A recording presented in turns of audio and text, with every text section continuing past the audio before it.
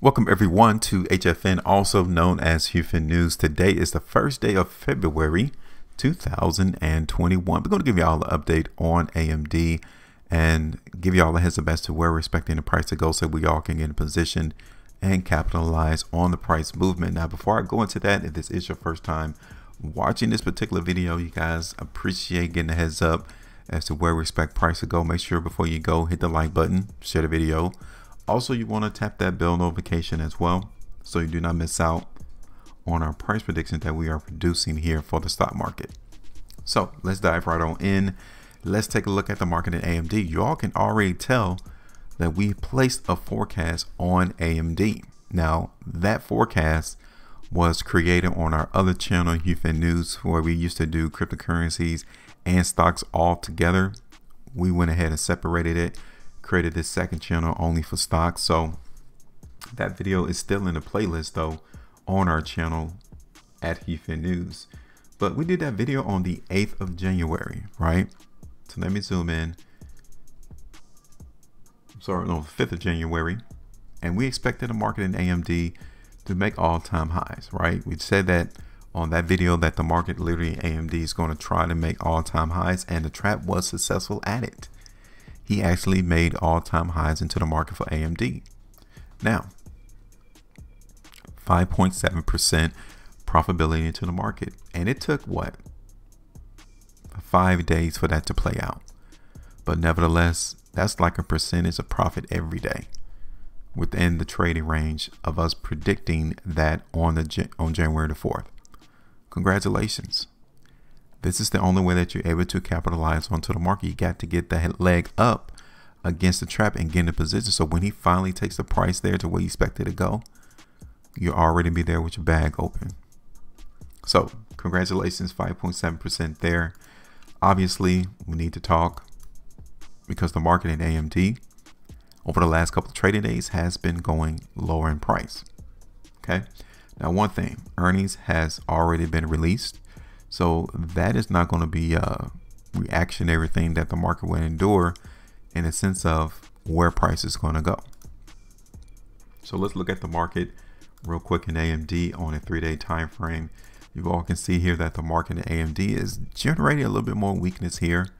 So one of our main focuses on this video will be where will the trap come in and prop up the market? We need to make that determination. You can already see that we had $88 as support. We close on that on the last completed three day price bar. That is cause for concern for those who are looking for the market in AMD to go higher in price. It is. So, where would be the next area then? $84, $80, $76? Where will be the area of support? What about on the five day time frame then? the five day time frame in AMD definitely hints that $88 is not going to be maintained as support. It's just not. So the next area will have to be 84 and then I'm eyeing around $80. Let's look at this on the weekly. See, even here on the weekly time frame, the market at AMD is weak.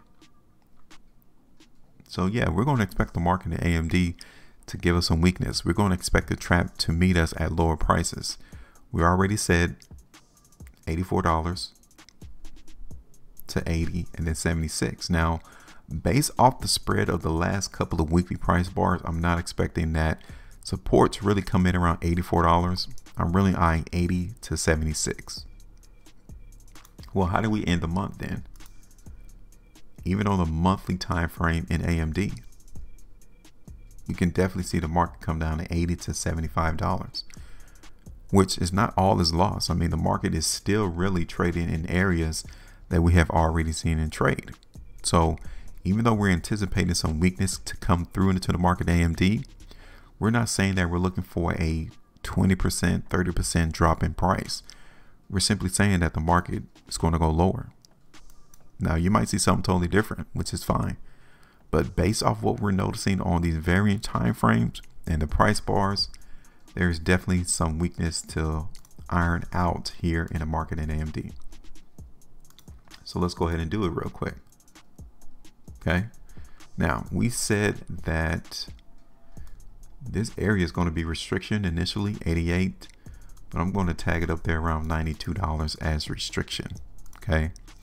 Simply meaning I'm not going to expect the market to go higher AMD until we see this price literally close up above $92. And it will have to be on strength. We cannot see the market come up here on weakness.